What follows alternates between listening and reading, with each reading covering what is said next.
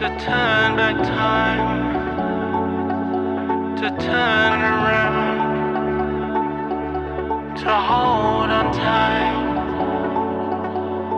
One last chance to turn